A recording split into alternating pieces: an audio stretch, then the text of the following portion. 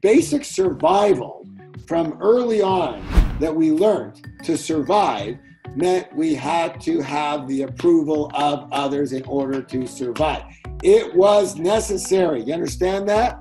And as a very, very young baby and whatever, and a toddler, and, and literally until you're like, you know, 14, 15, 16 as an adult, as a, as a human, you need the approval of other people in order to survive because if you don't, you're pretty well dead. The problem is, for most of us, we are conditioned for approval, that they need approval. We're all conditioned for that. It's a survival mechanism. The problem is that that still runs most of us in our adult life. It just takes a different form. So there's nothing wrong with looking for approval. You're going to do that. But when it runs your life as an adult, you don't need that anymore, but we're still running it habitually. And then when it hurts us, then it's a problem, you see? So we have to understand that inherently it came from something, and that the only way to offset that and overcome that is to develop a new what? A new habit. So, how do you develop a new habit? An awareness and a practice. So, first, we do all always do the same thing. It's a reconditioning process. Number one is awareness. You have to become aware of when you're doing this. So, how do you go about trying to get approval from other people? What do you do? How do you do it? Write it down. Well, you know, I boast.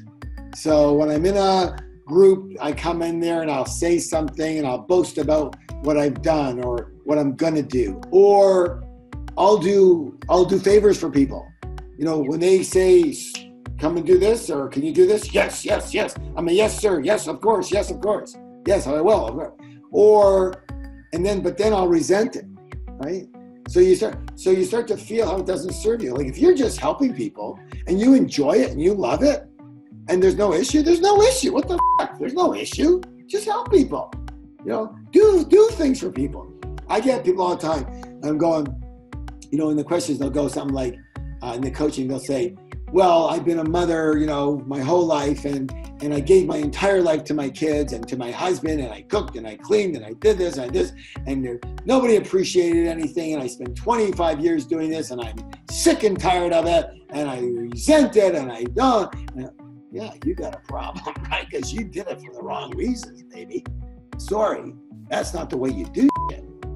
You know, that's not how you do it you do it gonna you do it like that you're gonna resentful. That's the problem. The problem isn't that you're doing it the problem is the resenting of it.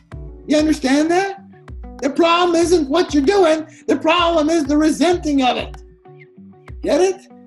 Do it. Do the same thing without resentment. It's not a problem anymore is it? Remember we talked about the beginning? We create our own story. So someone's one person says oh yeah, I did this and I didn't get any appreciation. They probably did get appreciation. They just nothing, nothing is appreciating enough because they're a what? Starts with a V. What are they? You're they're victims. So you can't be a good victim if you're happy about doing stuff, right? You can only be a good victim if you're, no, this is bad, this is terrible, people are taking advantage of me, right? Then I then I'm a victim, right? Okay.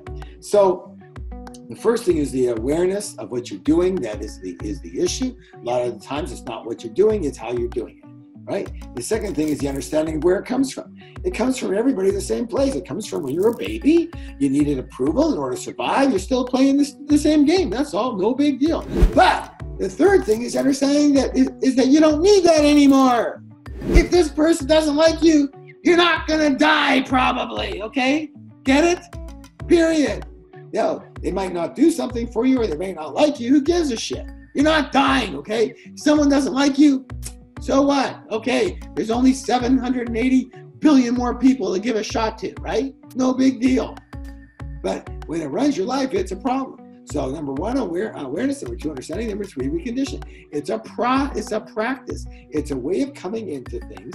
It's an ability to be able to say yes or no based on your authenticity and who you are and in your own integrity of what you really want, and be able to. Dec- I always said in the Millionaire Mind, I said that the true, uh, true courage, true integrity is being able to decline an invitation for dinner without giving a reason.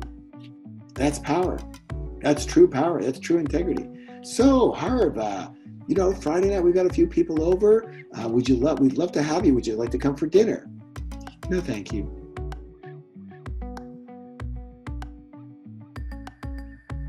Well, um, okay. Um, all right. Thank you for the invite. Appreciate that.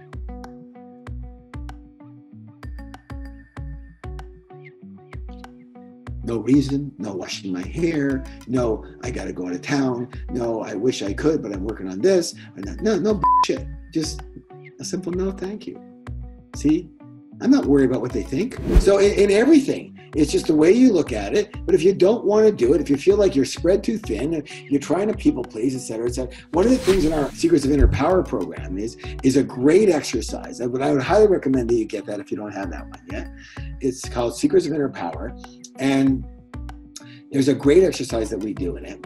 And and it's whereby people are in, in when we do it live especially people are walking around and they and they're they're shaking hands and the, the goal is to walk up to as many people as you can shake their hand listen to this shake their hand look at them in the eye and say the following words. You say i love you and i respect you but i don't give a frick about what you think about me. Have a nice day now we use a different word other than frick in the course just so you know Okay, so it's stronger, more emphasis.